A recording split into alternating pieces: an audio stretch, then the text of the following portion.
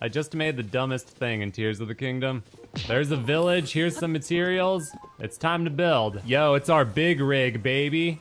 Look at this. this is so stupid looking. Dude, look at this guy stopping to admire it. She's a real beauty, ain't she? Dude, were they high when they made this game? Like, what is this? What should we call this thing? The super flying tank that doesn't fly? A travesty? The erection? Chungus? Watchtower? What the frick is that? It's going to fall over? How do you know it doesn't fly unless you try? Charge! Get him! Oh god, you lay you gotta you gotta aim better than that, dude.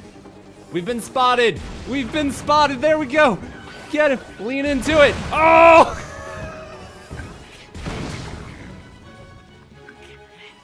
We didn't even kill the guys.